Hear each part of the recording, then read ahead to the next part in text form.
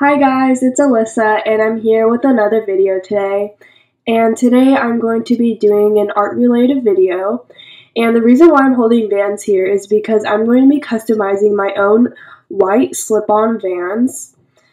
And after deciding um, for a long time, I decided to do this design.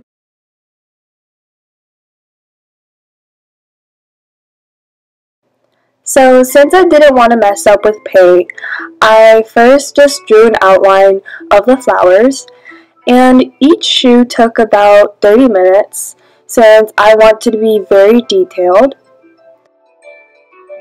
And the reason why I chose to do the hydrangea flower is because every year whenever I go back to Japan, I always see beautiful hydrangeas in my grandmother's garden and I really miss Japan right now so I just chose to paint them on these shoes. And let me know if you guys are interested in customized shoes because I may be opening up an Etsy this summer and I can customize your guys' shoes. And on Saturday, even though it was pouring, I painted outside under the roof and it was pretty cozy, so it was honestly a vibe.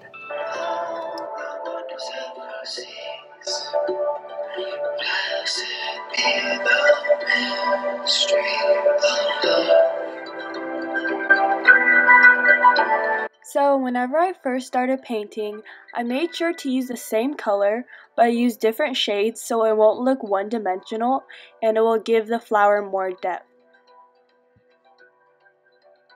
Lord, I no longer believe. So this is how the first shoe turned out. And then I decided to put a gold rim around each bouquet of flowers.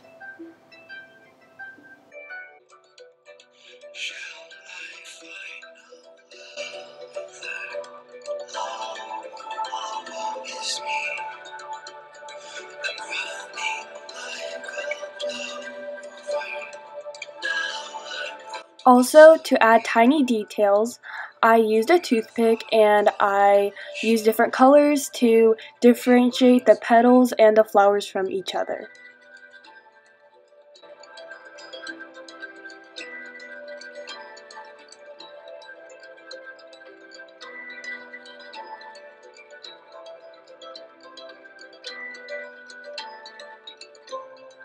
If you guys are trying this at home, and you are afraid that you're going to accidentally paint somewhere you don't want to, I recommend putting masking tape all over the places you don't want to paint on.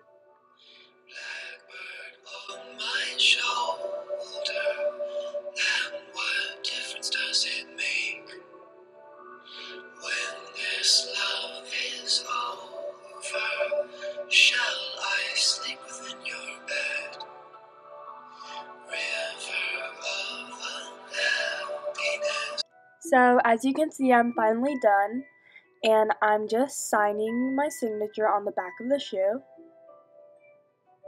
And then I'm spraying this all-weather shield thing all over my shoes and I applied three coats of it so whenever it suddenly rains, uh, my shoes won't get damaged. So I made sure to really like coat it on.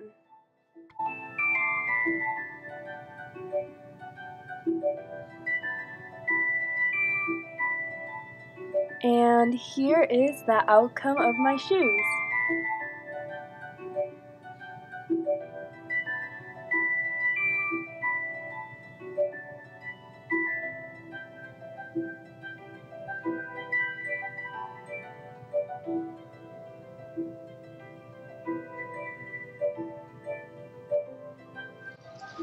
Thank you guys so much for watching. I loved how these shoes turned out.